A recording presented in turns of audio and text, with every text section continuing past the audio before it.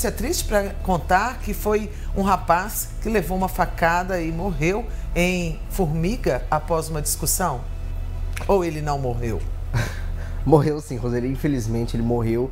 É, foi uma briga entre primos lá em Formiga que acabou desenvolvendo aí essa morte. Infelizmente, é o primo de, foi o primo de 29 anos que ele foi preso em flagrante após confessar que matou aí esse outro primo de 34 anos. Segundo ele, Roseli, ele já tinha uma discussão, essa rixa, desde 2012. O que aconteceu? Nesse último final de semana, eles tiveram uma briga, aí um desentendimento e acabou, o de 34 anos acabou dando umas pauladas no outro primo de 29. O que aconteceu? Ele saiu revoltado, foi em casa, pegou uma faca e esfaqueou o primo que morreu no local.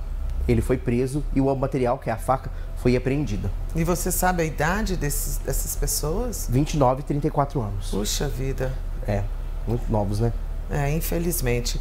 É, as pessoas precisam ter um pouquinho mais de paciência, né? E de carinho e tentar resolver as coisas conversando, né? E não se agredindo. Que coisa chata. João Vitor, e um susto que uma família